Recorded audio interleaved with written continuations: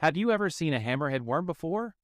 These bizarre creatures may look like something out of a sci-fi movie, but they're actually real. Hammerhead worms are a type of flatworm that can grow up to a foot long.